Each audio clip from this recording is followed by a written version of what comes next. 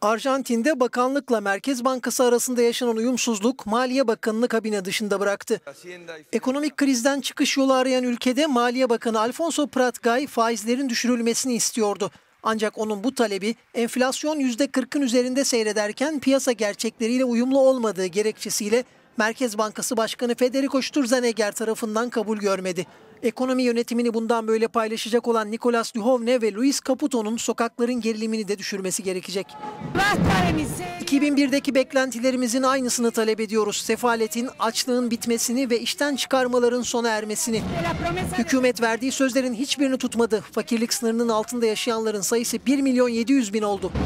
2016 yılının ilk 3 çeyreğinde işsizler arasında resmi rakamlara göre toplam 130 bin kişi daha katıldı. Hükümet 2017 için %3'lük büyüme beklentisi belirlemişti. Resmi rakamlar 2016 sonu için ekonomide %2.4'lük daralma öngörürken 2017 hedeflerinin yakalanacağına dair beklenti de giderek geriliyor.